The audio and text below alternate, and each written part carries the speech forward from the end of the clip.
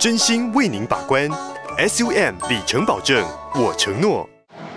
Hello，大家好，我是金豪华汽车小黑。那这一次我要跟大家分享我左手边这台二零一三年的马自达马五，哦，这个排气量是二点零的，两千 CC 的。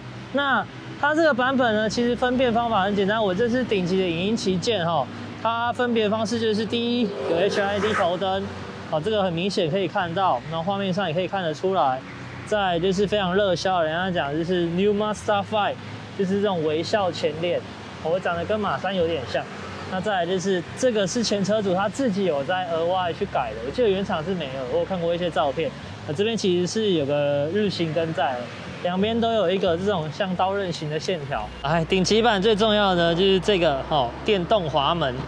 那像这种七人座滑门车型，我觉得跟另外一个他牌的，就是 T 牌的。七人座小车来讲的话，其实最重要的是滑门，因为一般的话是五门是直接开的。你直接开的话，像通常这样，它第一个好处就是它比较方便上下车。那再来就是做另外一个，就是椅背收折。哦，我要上到第三排，也都非常的好钻哦，不会像一般门开了之后，你可能角度啊，或者是开口有受限。现在有很多车已经少了这个功能了，你今天可以在那边放你的咖啡啊、饮料啊，或者是放一些书。尾门掀开之后。很多人会说，哎、奇怪，它、啊、后面怎么那么小？其实只要是像这种七人座车型啊，不管是 Wish 啊、喜恩塔啊，甚至是马五，其实你后面掀开，大致上都是长这个样子。那当你今天要取得更多的收纳空间的时候，很简单，这个拉绳一拉，哦，你要放东西就可以放得更多，会比一般的五门座车型还要来得再更大。那下方这边呢，就是一样三角板啊。跟一些小小的收纳空间，这个还是可以拿起来。拿起来之后，你会看到备胎，哦，然后像我们家的这台车，备胎完全没有使用过。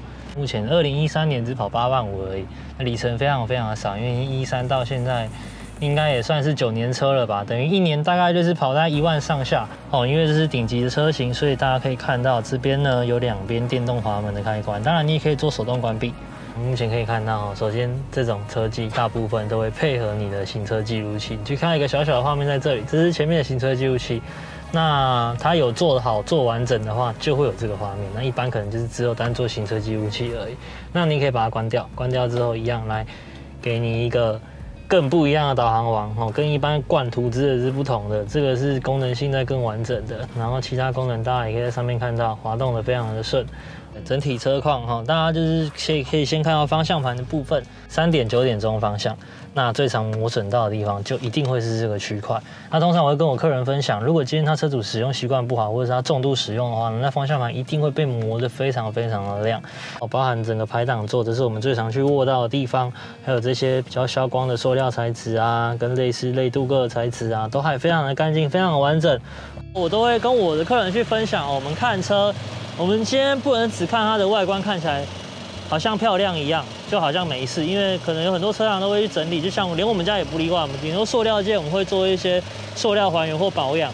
好，那最重要我们是要看这个，像这个，来引擎角应该是刚换过，为什么？因为这些螺丝啊，各个相关的东西都还非常非常的新，不然就是它保保不保保养的非常好。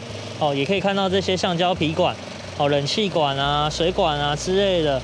颜色都还非常健康，软硬度也都还非常好。买这种车最怕的是什么？最怕的就是引擎哦，或者是整个车子没在顾，然后一些橡胶件老化，导致你后面漏水啊、漏油啊，有的没的。我们家的车你放心，为什么？来，大家帮我看一下这边，这是我们 ES 第三方认证的一个查验贴纸哦。只要今天这台车查验过之后，我们都会贴，这查验师就会在这车子上面贴一个贴纸。